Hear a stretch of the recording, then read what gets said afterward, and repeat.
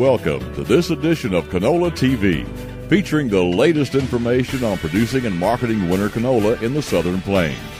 Canola TV, a service of PCOM, Producers Cooperative Oil Mill.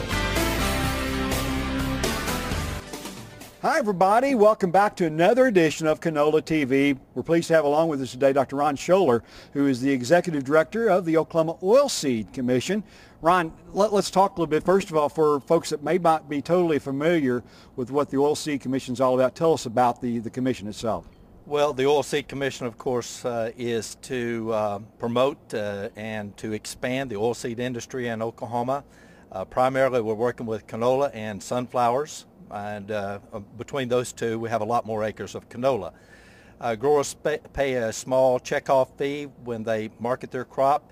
Uh, we see this as an investment because uh, the value of that those dollars go back to them in the form of research and promotion of the industry. Right.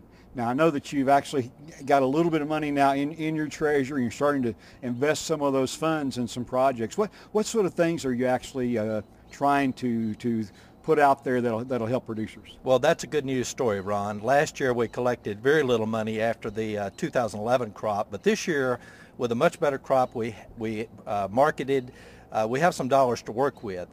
Uh, the commission just met and uh, funded Oklahoma State University researchers uh, to the tune of $65,000.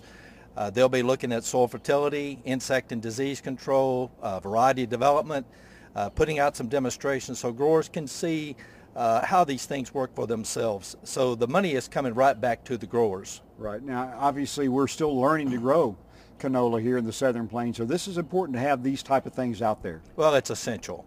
Uh, we're, we're not reinventing the wheel here. Every state that uh, uh, has research on any crop understands that it's about uh, uh, educating the growers, and growers understand it's in their best interest.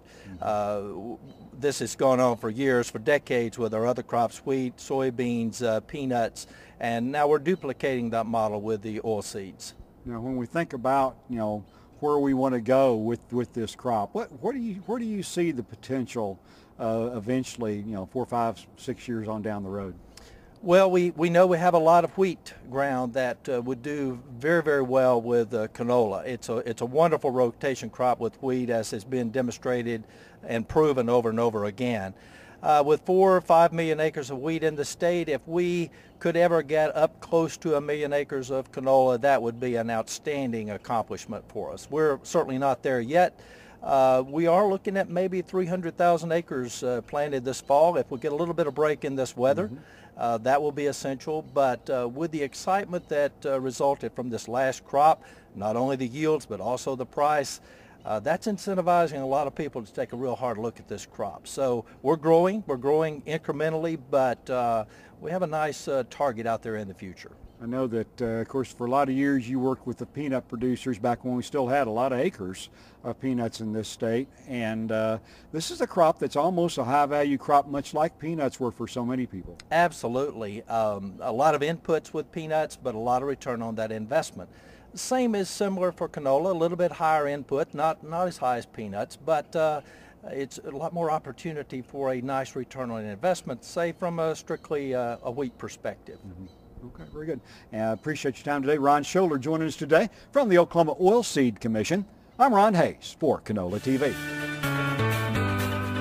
Canola TV, a service of PCOM and produced by OklahomaFarmReport.com.